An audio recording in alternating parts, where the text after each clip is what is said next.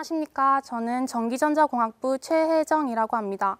오늘 저는 여러분들에게 어떻게 하면 나에게 딱 맞는 수업을 선택해서 수강 신청을 잘 할 수 있는지에 대해 말씀드리려고 합니다.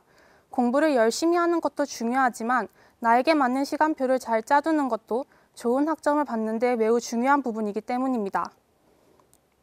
발표 순서는 첫째로 과목 선택하기, 둘째로 시험 출제 방식을 고려하기, 셋째로 시험 일정을 확인하는 방법에 대해 말씀드리겠습니다. 첫 번째로는 과목을 선택하는 방법입니다. 많은 유학생분들이 자기 계열과 다른 계열을 선택해서 유학을 오시는 경우가 많다고 들었습니다. 그래서 그 학과에서 어떤 커리큘럼을 가지고 어떤 과목을 우선적으로 수강하도록 권장하고 있는지에 대해 잘 알지 못하고 계시는 경우가 많은 것 같았습니다. 저번 학기에 같이 수강을 하였던 유학생 학생도 우리과 저희 과에서 2, 3년 동안 한꺼번에 듣는 강의를 쭉 나열한 노트를 보여주면서 어떤 과목을 먼저 수강해야 되는지 어떻게 들어야 하는지에 대해 전혀 모르겠다고 얘기했었습니다. 그래서 오늘은 선수 과목, 즉 이 과목을 듣기에 앞서 꼭 들으면 좋을 만한 과목을 어떻게 확인하시는지에 대해서 말씀드리도록 하겠습니다. 여기 그림을 보시면 이 그림은 저희 과의 학과 홈페이지에 올라와 있는 교과목 트리입니다. 각 학과의 홈페이지에 들어가 보시면 그 학과의 커리큘럼이나 교과목 트리를 확인하실 수가 있습니다. 그림을 잘 보시면 각 과목들이 선으로 연결되어 있고 그리고 학년이 표시되어 있어서 각 학년별로 어떠한 강의를 들으면 좋을지에 대한 것을 명확히 알 수 있습니다.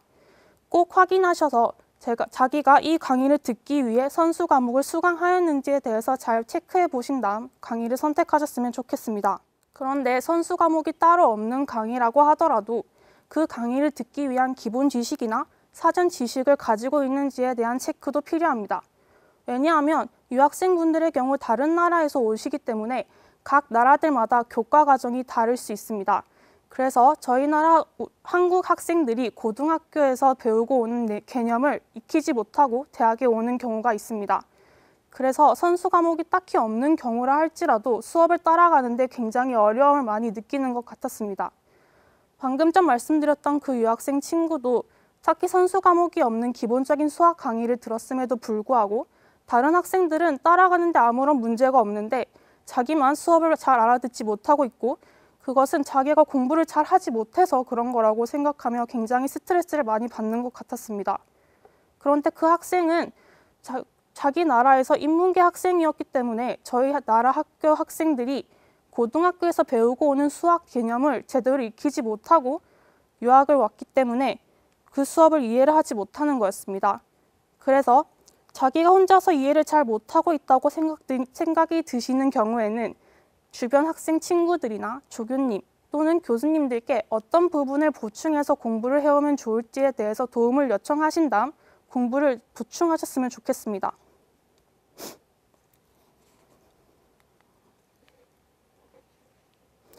다음은 시험 출제 방식을 고려하는 방법입니다. 시험 출제 방식에 따라 공부 방법도 달라져야 하기 때문에 자신의 공부 방법에 맞는 시험 출제 방식을 가지고 있는 강의를 선택하신다면 훨씬 수월하게 공부하실 수 있을 것입니다. 시험 출제 방식에는 두 가지가 있는데요. 정의나 이론 중심으로 서술형 문제를 출제하시는 교수님이 있으신가 하면 문제풀이 중심의 교, 문제를 출시하시는 교수님들도 계십니다. 교수님들마다 중요시하게 여기는 분야가 다르시기 때문에 출제 방식도 당연히 다를 수밖에 없습니다. 정의나 이론 중심의 문제를 출제하시는 교수님들의 경우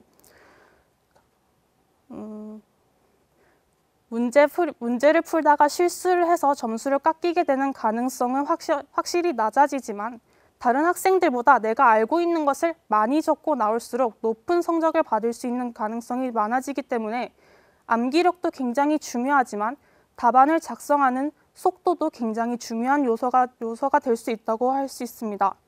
그런데 유학생분들의 경우 모국어가 아닌 외국어로 시험을 치기, 치게 되기 때문에 한국 학생들에 비해 문제를 푸는 속도에 있어서 현저히 불리해질 수 있습니다. 그렇기 때문에 자기가 암기력이 좋아서 정의나 이론을 문제, 이론을 물어보는 문제에 적합하다고 하더라도 그런 부분을 잘 고려하셔서 강의를 선택하셨으면 좋겠습니다.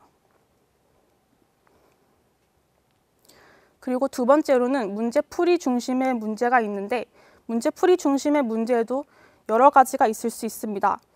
어떤 교수님들은 교재에 있는 문제만 충실히 연습해 가면 거기서 살짝만 변형해서 문제를 내시기 때문에 좋은 성적을 받을 수 있는 강의들도 있지만 기본 지식을 활용해서 조금 더 응용된 심화된 문제를 내시기 때문에 독특한 아이디어가 없이는 풀 수 없는 문제들을 출제하시는 교수님도 있으십니다. 후자의 강의의 경우 유학생 분들의 유학생 분들은 조금 신중하게 선택해 주셨으면 좋겠습니다. 왜냐하면 응용되거나 독특한 아이디어가 필요한 문제의 경우 혼자서는 그 답을 찾아내기가 힘들기 때문에 시험 공부 기간에 여러 명이 함께 모여서 공부를 하게 되는 경우가 많습니다.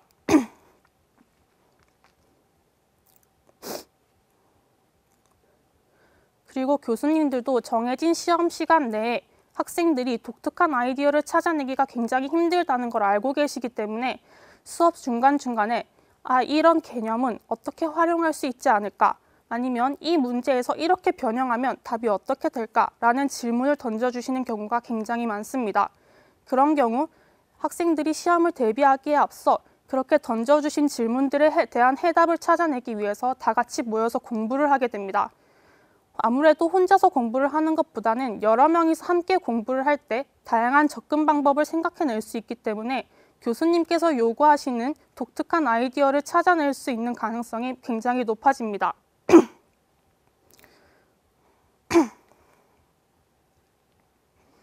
그런데 유학생 분들의 경우 혼자서 강의를 들어야 하는 경우가 많기 때문에 이런 부분에 있어서 독특한 아이디어를 요구하는 시험 문제를 가지고 있는 수업을 들을 경우 불리한 경우가 많습니다. 그렇기 때문에 이런 부분 잘 생각하셔서 수강 신청을 하셨으면 좋겠습니다. 시험 출제 방식에 대해서는 강의 계획서나 학과 홈페이지에, 대, 홈페이지에 들어가서는 잘 알 수 없는 경우가 많기 때문에 클루라는 수강 신청, 수강 평가 사이트나 아니면 학생들이 많이 사용하는 커뮤니티 사이트에 들어가시면 학생들이 이전에 수강했던 학생들이 이 수업은 출제 방식이 어떻고 어떻게 공부를 하면 좋은 성적을 받을 수 있을 것이다 라고 평가를 해두신, 해둔 것을 보실 수 있을 것입니다. 그런 것들 꼼꼼하게 읽어보시면서 많은 정보 얻어보셨으면 좋겠습니다. 마지막으로는 시험 일정을 확인해서 수강 신청을 하는 방법입니다.